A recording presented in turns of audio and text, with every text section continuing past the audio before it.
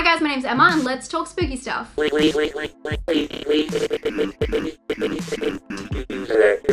do you feel about drug-fueled fantasy psychotic childhood trauma? Trick question?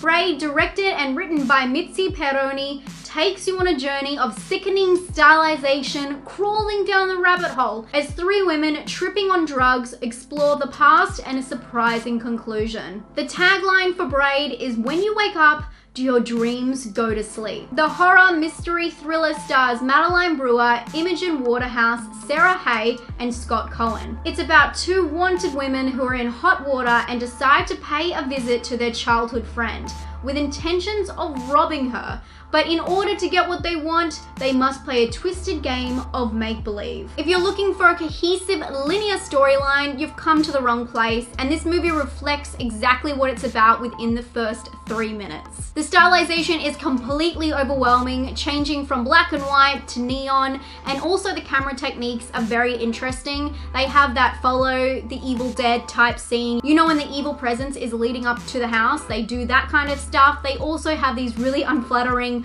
undershots where it's kind of like a fisheye showing their warped perception. Some people misunderstood me when I was talking about unlikable characters in my Velvet Buzzsaw review. I wasn't saying that awful characters aren't warranted. I mean, Russell Hantz is the reason I watch Survivor. Come on.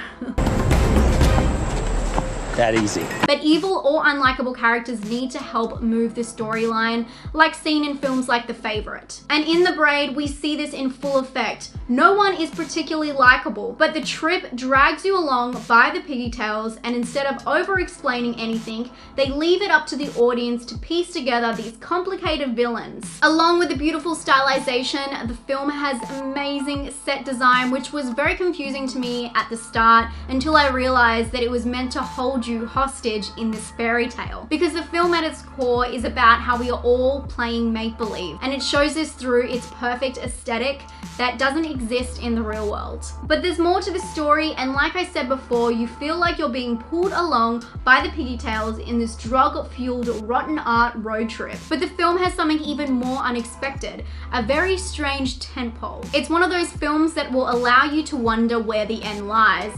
And I promise it's actually worth the payoff off and I was very surprised by this and it bumped it up for me a little bit. I will say it was really hard to judge the acting in this film because it was so far out and they're overdoing it for the sake of overdoing it but Madeline's performance definitely stands out to me and I know you guys think I look like her, I don't know why, but I'll take it and I think she shines in this performance and I'm so excited to see her do more horror roles. The thing about Braid is it's a very beautiful film and it's also not afraid to push the envelope and really go into the darkness and it gets brutal. It doesn't tippy toe around sensitive subjects or censor itself. It also doesn't over explain itself and it leaves a lot up to your own interpretation. And I have to say, as a woman almost in her 30s, I drawed a lot from the final conclusion of this film. But I can't help but think if the art department and editing was stripped away, would this be rather a bland film?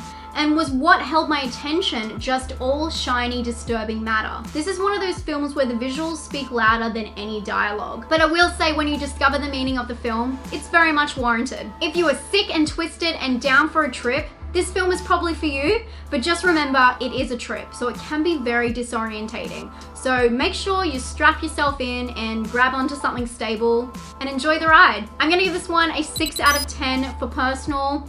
Uh, as I said, when it's stripped back, I'm not sure it has everything I needed in it, but I did like the story. Uh, I'm gonna give it an originality of seven and a scare score of like three. I do recommend checking out this film if you're on the edge about it because I have seen some good feedback and I think it does resonate with some audiences. Have you seen Braid? Let me know down below what you thought and if you found this helpful or you just like my reviews in general, please give it a thumbs up. It really helps me out. And if you haven't subscribed, do that and I'll talk to you guys very soon. Stay spooky, guys.